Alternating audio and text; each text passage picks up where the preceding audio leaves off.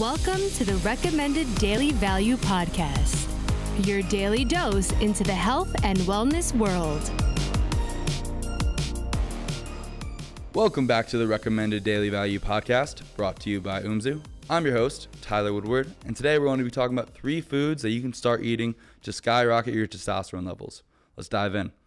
First up on the list is good old nature's multivitamin, liver. Liver is one of the most, if not the most, nutrient dense food on the planet. Liver is rich in vitamin A as retinol, the animal form, B vitamins, glycine, choline, vitamin K, zinc, copper, selenium. The list goes on. If you're not eating liver in some form or fashion, like getting it through supplemental form, on a weekly basis, I highly recommend trying to add it in because it's just so nutrient rich. Next up, we've got another great natural multivitamin, oysters and other shellfish as well. Oysters are like the liver of the sea. They're packed with many of the same nutrients the liver has, including vitamin A, B vitamins, and they're really rich in zinc, selenium, and iodine, which is a great boost on top of the liver. These can be a great alternative for vegetarians as they can't eat liver, and they're also a good source of protein and provide a lot of those nutrients that are found in liver. Finally, last we, we have to boost your testosterone levels is saturated fat.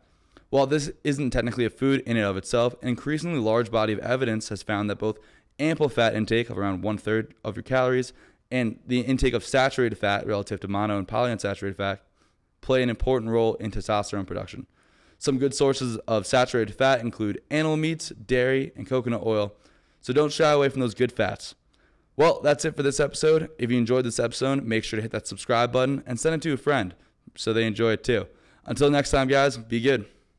And just a reminder that these opinions are my own, based on my own research and experiences, and are not medical advice.